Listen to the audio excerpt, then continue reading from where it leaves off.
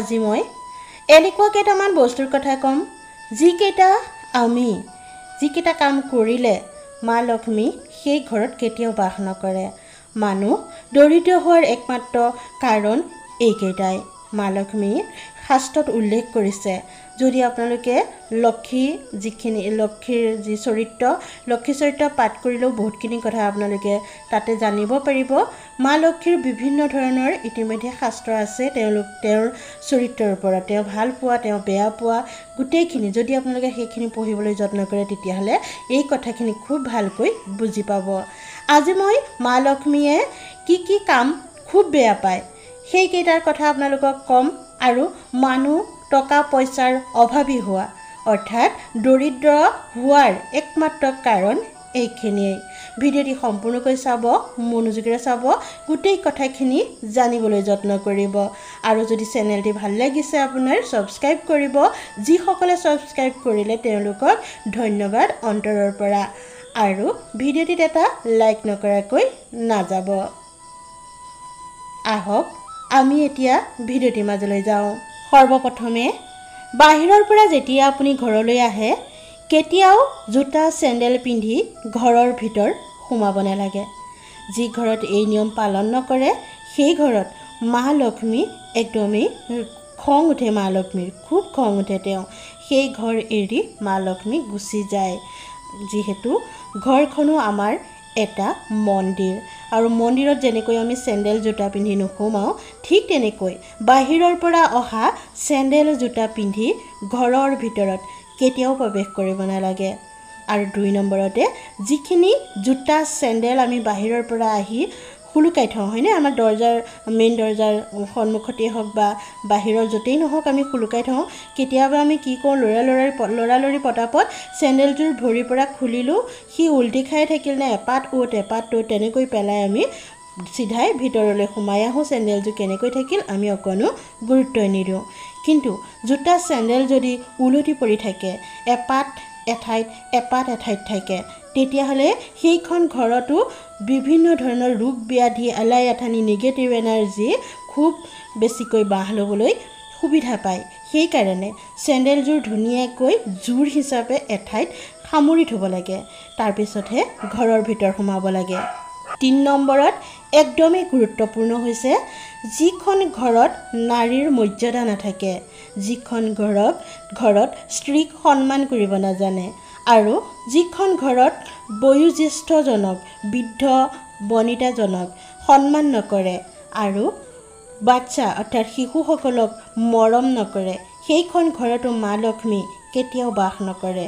আজিকালি যেন স্ত্ৰী স্ত্ৰীক বিভিন্ন ধৰণেৰে শোষণ কৰাটো পুৰুষৰ এক একদমেই যি অভ্যাস হৈ গৈছে।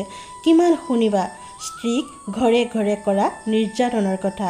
তাৰে মাজতে কিন্তু কিছুমান পুৰুষ খুব এটা ভগৱান সদৃশ। তেওঁলোকে তেওঁলোকৰ ঘৰখনৰ মহিলাসকলক একদমেই লক্ষীৰ নিচিনা জ্ঞান কৰে তেনেদৰে সন্মানো কৰে। আৰু সেইকাৰণে সেই তেওঁলোকৰ ঘৰত সদায় মা লক্ষ্মী স্থায়ী ৰূপে বাস কৰে যিহেতু মা লক্ষ্মীও এগৰাকী স্ত্ৰীয়েই নহয়নে? যিখন ঘৰত স্ত্ৰীক মৰ্যাদা নিদিয়ে যিখন ঘৰত স্ত্ৰীক শোষণ কৰে যিখন ঘৰত স্ত্ৰীক অত্যাচাৰ কৰে সেইখন ঘৰত বাৰু নিজে স্ত্ৰী হৈ মা লক্ষ্মী কেনেকৈ বাস কৰিব? আপুনি নিজে ভাবি চাওক। চাৰি নম্বৰত আমাৰ যিখন পাকঘৰ ঘৰটো যেনেকৈ মন্দিৰ পাকঘৰ তেনেকৈ আমাৰ কাৰণে মণিকোট। নামঘৰৰ মণিকোট যেনেকৈ আমাৰ সকলোৰে পূজ্য ঠিক তেনেকৈ ঘৰৰ ঘৰ মন্দিৰৰ এই পাকঘৰটো মণিকোটৰ স্বৰূপ।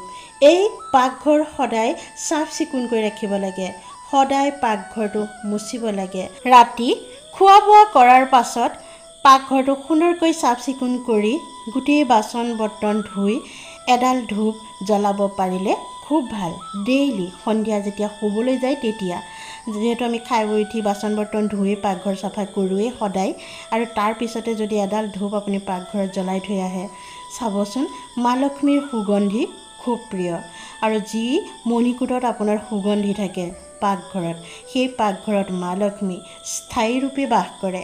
যেতিয়া মা লক্ষ্মী স্থায়ীৰূপে বাস কৰিব সেই ঘৰখনত বাৰু অভাৱ অনেটনে চুব পাৰিবনে? পাঁচ নম্বৰত একদমেই গুৰুত্বপূৰ্ণ কথাটো হৈছে ঘৰখনৰ যি যিগৰাকী মহিলা যিসকল মহিলা আৰু ঘৰখনৰ মূল যিগৰাকী গৃহিণী তেওঁ কেতিয়াও ধুনীয়া তেওঁ সদায় ধুনীয়াকৈ সাজি কাচি থাকিব লাগে ধুনীয়াকৈ সুন্দৰকৈ থাকিব লাগে। মা লক্ষ্মীৰ কেতিয়াবা এনেকুৱা এখন ফটো দেখিছেনে য'ত তেওঁ ছিংগাৰ কৰা নাই? আমি সদায় ষোল্ল ছিংগাৰ কৰিব লাগে। ষোল্ল ছিংগাৰ নকৰিলেও অন্তত শিৰত সেন্দুৰ অকণমান লৈ মহিলা হিচাপে যিখিনি আমি কৰিব লাগে আমাৰ নিজকে সজাই পৰাই ৰাখিব পৰা যিখিনি আমাৰ কৰ্তব্য সেইখিনি আমি কৰিব লাগে। যি ঘৰৰ মহিলাই নিজকে সজাই পৰাই সুন্দৰ কৰি নাৰাখে সেই ঘৰতো মা লক্ষ্মীয়ে বাস নকৰে। সুন্দৰ সাজি কাচি থকা গৃহিণীৰ ঘৰত মা লক্ষ্মীয়ে অট'মেটিক প্ৰৱেশ কৰে। তাৰ পাছত যিখন ঘৰত তুলসী নাথাকে মা লক্ষ্মীৰ খুব প্ৰিয় এবিধ গছ হৈছে তুলসী। এই তুলসী প্ৰতি ঘৰ মানুহৰ থকাটো অত্যন্ত বাঞ্ছনীয়। যদি আপোনাৰ ঘৰত নাই তেতিয়াহ'লে এজোপা তুলসী আপোনাৰ ঘৰত ৰাখক। এশজোপা থাকিলেও আপত্তি নাই। কিন্তু এশজোপা নহ'লেও এজোপা অন্তত আপোনাৰ ঘৰখনৰ চৌহদত ৰাখিব। সদায় ৰাতিপুৱা তুলসীজোপাত অন্তত এগিলাচ পানী দিব। সদায়। সূৰ্যলৈ মুখ কৰি সূৰ্যত পানী দিয়াৰ দৰে যেনেকৈ আমি সূৰ্যক পানী দিওঁ ঠিক তেনেকৈ সেই পানী এগিলাচ আপুনি সদায় তুলসীজোপাত দিবচোন। চাব সদায় আপোনাৰ ঘৰখন ধন ধানেৰে ভৰি থাকিব। পাৰিলে সদায় তুলসীজোপাৰ অকণমান আঁতৰত তুলসীৰ গুৰিত কেতিয়াও চাকি আৰু ধূপ নিদিব। অকণমান আঁতৰত জ্বলাব। তুলসীজোপাক দিছোঁ বুলি যেতিয়া আপুনি ধূপ চাকি জ্বলাব সেয়া তুলসী মাতাই পায় মা লক্ষ্মীয়ে পায়। তুলসীৰ আন এটাই ৰূপ মা লক্ষ্মী। গতিকে সদায় পাৰিলে সন্ধিয়া তুলসী ওচৰত তুলসীজোপাৰ অকণমান আঁতৰত যাতে ধোঁৱাটো জান নিজান তুলসীজোপাত লাগে তেনেকুৱাকৈ এডাল ধূপ জ্বলাবচোন পাৰিলেতো চাকি জ্বলাব লাগে। সদায় চাকি নজ্বলালে অন্তত এডাল ধূপ জ্বলাব। এইখিনিতে হয়তো আপোনাৰ প্ৰশ্ন হ'ব তুলসী বিভিন্নজোপা আছে বিভিন্ন ৰূপত। ঘৰত কোনজোপা তুলসী ৰাখিব লাগে? তুলসী যিকোনো তুলসীয়েই মা লক্ষ্মীৰ ৰূপ। গতিকে যিকোনো তুলসী আপোনাৰ ঘৰত ৰাখিব পাৰে। যদি আপুনি শাস চিকিৎসা শাস্ত্ৰৰ ফালৰ পৰা ৰাখিব বিচাৰে অৰ্থাৎ ঔষধি হিচাপে আপুনি কৃষ্ণ তুলসী ৰাখিব। যিজোপা বেঙুনীয়া ঠাৰি পাতো অলপ অলপ বেঙুনীয়া নিচিনা হয় সেইজোপা। সেই কৃষ্ণ তুলসীজোপা খুব ঔষধি হয়। সেই কৃষ্ণ তুলসীজোপা সদায় ঘৰখনৰ দুৱাৰ সন্মুখত ৰাখিব লাগে মেইন দুৱাৰৰ সন্মুখত।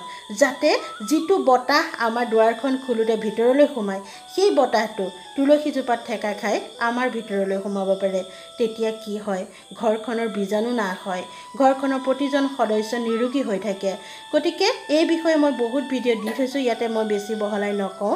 গতিকে এখন ঘৰত এজোপা তুলসী থকাটো অত্যন্ত প্ৰয়োজন। ভিডিঅ'টি চাই কেনেকুৱা লাগিল মোক জনাব।